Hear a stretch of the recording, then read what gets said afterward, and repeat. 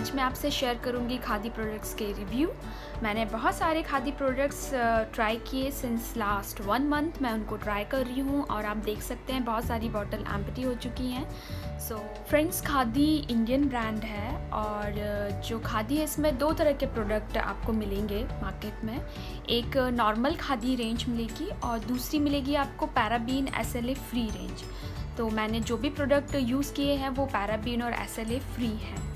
तो सबसे पहले मैं खादी के शैम्पू के बारे में आपसे बात करूँगी।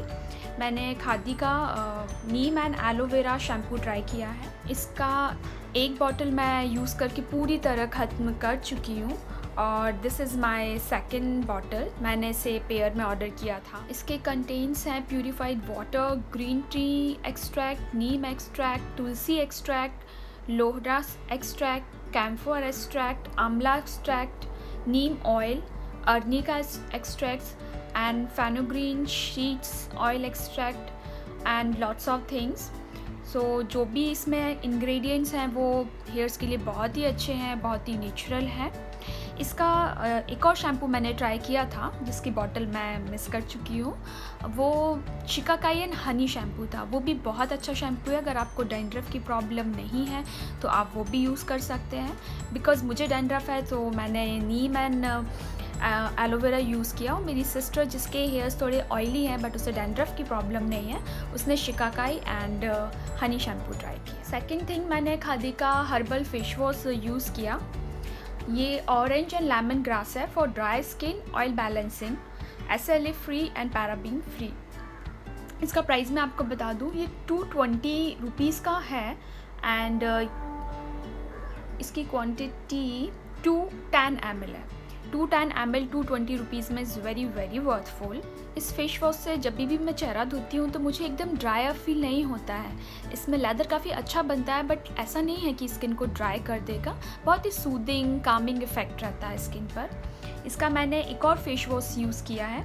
ये भी पूरी तरह ख़त्म हो चुका है। ये हनी फेस वॉश है एंड इसमें एलोवेरा एंड सिनेमन के एक्सट्रैक्ट मिक्स हैं। ये भी बहुत अच्छा था ये मैंने पूरे विंटर इसको यूज़ किया है। और चूँकि अभी समर है तो मैं ये ऑरेंज और लेमन ग्रास का यूज़ कर रही थी जो कि वो भी पूरी तरह ख़त्म हो चुका है। एंड इसके अलावा मैंने अपनी मम्मी के लिए इसका नाइट क्रीम और आई क्रीम भी ऑर्डर किया था। क्योंकि मम्मी यहाँ नहीं है तो मैं आपको दिखा नहीं उनके बारे में मैं आपको बता ज़रूर सकती हूँ। उनकी फ्रेगनेंस बहुत अच्छी है, सारे कंटेंट्स बहुत ही नेचुरल हैं।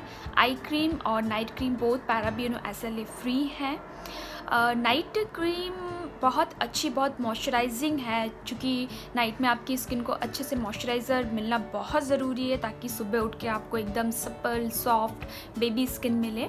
सो नाइट क्रीम परफेक्ट है इस चीज़ के लिए। बट आई क्रीम से मैं थोड़ा डिसएग्री करूँगी। आई क्रीम के उतने इफ़ेक्ट मुझे नहीं मिले।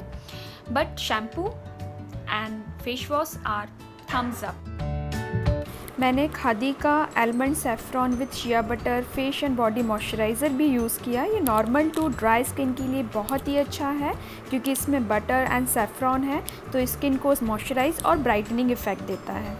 सो दैट्स इट ये था खादी का रिव्यू अगर आपको ये अच्छा लगा हो वीडियो तो प्लीज़ इसे लाइक करें, मेरे चैनल को सब्सक्राइब करें और अगर आप और भी चीज़ों पर रिव्यू चाहते हैं तो प्लीज़ कमेंट करके मुझे बताएँ.